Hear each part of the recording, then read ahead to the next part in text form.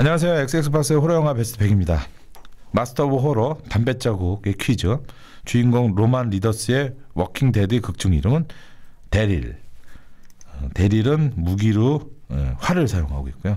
현재 워킹 데드 시리즈는 계속되고 있습니다.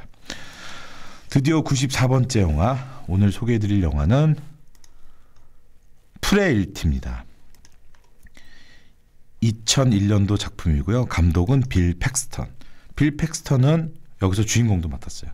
빌 팩스턴이 어디 나왔나 보시면은 어, 이번에 나이트 크롤러에도 조연으로 나오고 있고요. 이분이 알려졌던 영화는 어, 에일리언 2도 있고 트위스터라는 영화도 있고 그 대중적으로 제일 알려진 거는 그 아놀드 슈와츠제네거 트루라이즈에서 제이미 리 커티스를 꼬시는 이 바람제비 역할로 나왔던 사람이 이 빌 팩스턴입니다.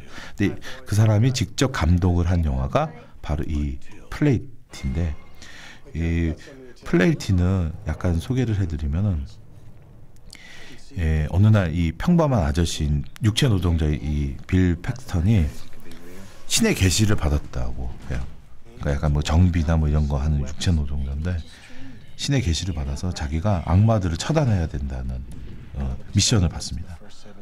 그래가지고 어느 날 가다가 그냥 일반 도끼랑 무슨 장갑 같은 허름한 장갑을 발견해요. 이게 신의 신이 이 사람한테 준 뭔가 약간 그 성스러운 물건이에요.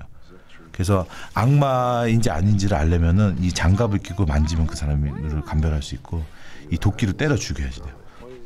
그래서 이거를 안 믿는 이 아들하고의 이 대결이 펼쳐지는데, 그러니까 어떻게 보면은 약간 미친 또라이 광신도라고 할 수 있어요.